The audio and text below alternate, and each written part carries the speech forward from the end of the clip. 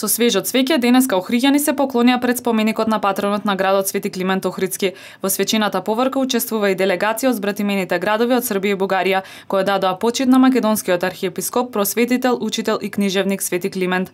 Свети Климент Охридски представува заштитник на градот Охрид и на целиот македонски народ.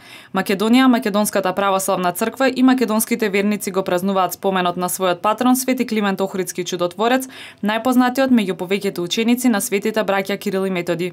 Свети Климент заедно со Свети Наум Охридски се најистакнатите ученици на светите браќа Кирил и Методи. Во почетокот на 886 година Свети Климент заедно со Свети Наум и Свети Ангелари дошле во Бугарија, од каде биле испратени во Охрид.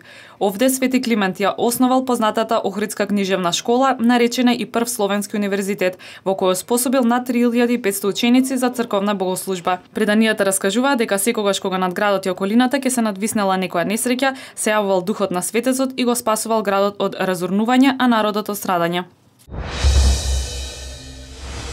На најголемиот патронен празник Свети Климент Охридски свечено ставено во потреба првото игралиште со вештачка трева. Првиот човек на градот Никола Бакрачевски истакна дека не случајно овој ден е одбран за промовирање на игралиштето. Во духот на патронот на Охрид успеавме за неколку месеци да го реализираме нашето ветување, за кое се надевам дека ќе ги мотивираме најмладите да развиваат здрави животни навики, додаде Бакрачевски.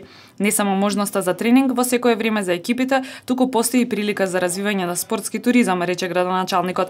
Директорот на јавното предпријатие Билјанин Извори Ристе Мишев се заблагодари на сите инволвирани во целиот процес за изградба на ваквото игралиште. Благодарение на екипите на јавното предпријатие Нискоградба, градски гробишта, Проаква, АД Илинден од Струга, финансиската подршка од локалната самоуправа и од ФФМ, денес за прв пат имаме игралиште кој ќе го заживее спортот во Охрид, истакна Мишев. Најважно е спортот да се крене на едно повисоко ниво, како што и всушност треба да е, истакна градоначалникот Бакрачевски. Ова игралиште на вештачка трева кој е изградено по највисоки светски стандарди, чини преку 300.000 евра, рече Бакрачевски. Од 8 до 18 декември во Центарот за култура Григор Прличев во Охрид, охриѓани ќе имаат можност да ја погледнат изложбата на слики од абориджински автори, богатата култура на абориджините, преку соработка на австралиската амбасада од Белград, со градот Охрид оваа година ја збогати програмата по повод празнувањето на патронот на градот Охрид Свети Климент Охридски.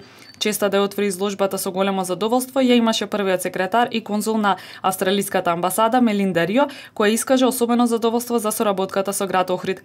Изложбата ја покажува богатата култура на абориджините, стара повеќе од 10.000 години, која австралиското општество вложува многу напори да ја негува.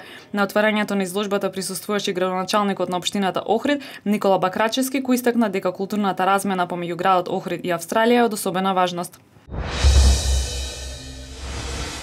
Пазарджиите од градскиот пазар соочени со намалена продажба, а високи цени за закуп на тезги. Проблемот го посочуваат во намалената продажна мок на граѓаните, која во зимските месеци многу се одразува на можноста за покривање на месечните и дневни трошоци. Месечно за закуп на тезга плаќаме по 2200 денари плюс дневна такса. Со овие трошоци тешко кој може да обстане на пазарот. Новите пазарджии едва издржуваат по 2-3 месеци да работат, додаваат пазарджиите. Директорот на јавното предпријатие Градски пазар вели дека цените за закуп на тезгите во Охрид се најмали во споредба со пазарите во другите градови.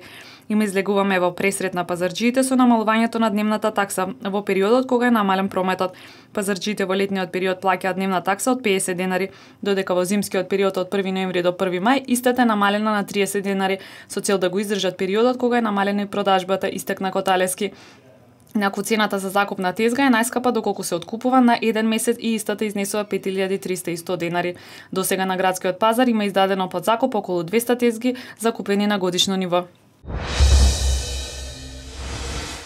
И покрај многуте најави за средување на каналот студенчишта, тој се уште во лоша состојба. Камерата на телевизија Одве и денеска регистрираше расфрлен отпад до целиот канал, како и околу него, пловила наредени покрај самото шеталиште и во самиот канал, од кој голем дел се распајаат, создавајќи лоша слика. Каналот и во текот на летниот период е пренатрупан со најразлични пловила, кои во недостаток на долго најавуваната марина се чуваат тука, се полнат со гориво, се вршат помали покрувни поправки и фарбање на истите, што дополнително ја нагрдува сликата, ја загадува флор флората и фауната во и околу каналот. Локалната самоуправа најавуваше средување на едниот дел од каналот, кој е под нејзина надлежност, каде покрај санација и уредување на шеталиштето во соработка со капетанијата на пристаништето ќе се среди и делот покрај самиот канал, како прифатилиште за пловните објекти за одреден надомест. За сега тој проект нема ништо. До неговата реализација останува само ова очајно лоша слика да го наградува пристапот до еден од најобавите и најпознати белези на Охрид, билјанините извори.